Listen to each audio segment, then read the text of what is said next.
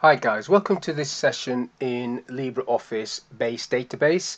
What I want to show you in this video is how to create a simple table in a base database. So I'm on the opening screen and I'm going to select the option I want, which is this one, and it will step me through a wizard about creating or opening a previously created database. So I'll click on it and you'll see how it works. So this is the wizard to get you going. Select database says they'll open an existing database or create a new one which is what I'm going to do. So I'm just going to leave everything as it is there selecting next. And it's got these options. Do I want to register it? No I don't. It's just a training thing. And then it's got open the database for editing or create tables using the wizard. Well you can do that in the, the database so I'll leave that unchecked at the moment. Finish. It's asking me to save it so I'll call this one customers. So the database is going to be called customers. I'll save that. And then it'll open up and give you this view where you can see the objects down the left hand side tables, queries, forms and reports. When you generate a report it goes into writer which is quite cool. But what you've got to do first off though is create your tables and you've got these options. So create table in design view that would be you typing in all the fields or you can use this wizard which is what I want to do because there's quite a few preset um, templates that you can use. So if I click on that option it should open up the wizard the table wizard. So you see there you've got four steps. The first step is to select the type of database table that you want. So this on tasks I don't want to do one on tasks so drop this list down. You can see you've got all these preset ones and if you just click on a couple of them you, you've got different sets of fields for each one of these. Invoices for example will give you all of that and then you just push across the fields that you want for your particular database. Now I want to do one for a customers so if I click on customers these are all the fields for customers now, you don't need to take all these fields. If some of these are not relevant to what you do, you just leave them off. I mean, fax number is a bit obs obsolete nowadays, for example, so I won't take that across. But what I'm going to take across first, because this will be the order of the table, is customer ID, and that is also going to be my primary key. So customer ID, and then you've got um, uh, forename, surname, address, not bothered about title. Um, not bothered about department.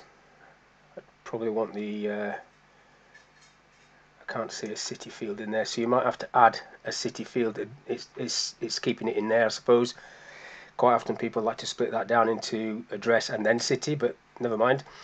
Postcode I definitely want and probably email that'll do. So those are the fields from this list that I've decided to select you can add additional fields at a later date if you find that you haven't added enough. Next. So now each field that you've added, it's basically telling the field type, the data type that it's set to. And these are the options that you've got in there. So this customer ID field is set as an integer. So you can see there, I want this to set be set to an auto value. So it's going to increment and then you've got the auto increment statement basically there I'm just going to put one in there. Maximum of 10 characters that'll do. Forename surname address postcode email everything else can stay the same.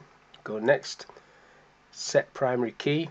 So create a primary key or use an existing field. That's what I want. Use an existing field and I want to use customer ID customer ID it's auto value.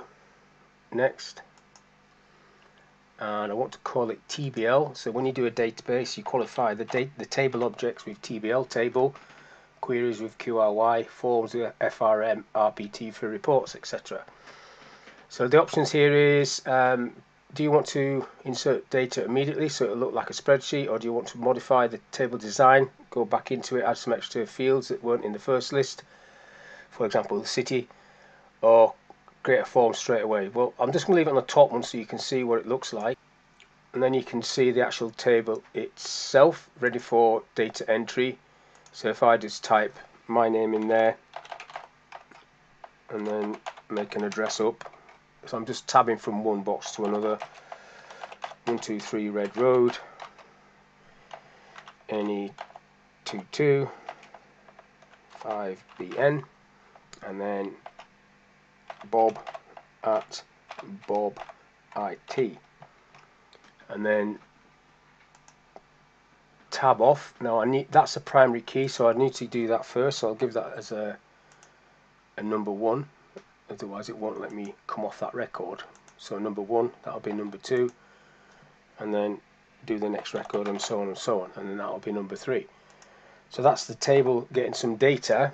If you close this table down either clicking this little cross or, or that close that one down. Yes I do. It sits down in this bottom window bottom of these four table customers and you can go back into it if you so wish. Um, when you double click on it it just opens up comes over here close it down again. Now if you need to get into design on that you can actually go into design and add some extra fields if you so wish.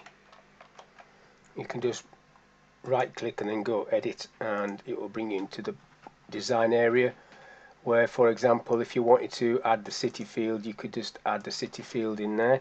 This is what it looks like if you um, created one without the wizard. Okay I'm going to click on the customer ID field because I noticed that it didn't do the auto value that I selected in the wizard. So you can set that here. So I'll set that to yes. Save and just close this down. And yes. I'll have a look at it to put some data in double click on it. Here it comes. Let's see what happens now. So it's got that to auto field. I did select that in the wizard but it didn't keep it or it hasn't saved it but I've been able to do it now. So I'll just put some other people in there. Paul John. So that should give him a number four. There we go. So that's now working correctly. I don't have to worry about that I'm just going to close this for now and go back into this to have a look at the design layout. So I've got everything I want it there. You can just move this stuff wider if you so wish. And this this bit here description is where you're supposed to put some narrative to describe what these fields are. But these fields are quite straightforward. You can sort of work out what's going off. If you want to format any of the fields, you've got this format option down the bottom there where you've got this option there. You've got currency, for example. I haven't got any number fields in there, so I don't need currency, but these are date, time, date.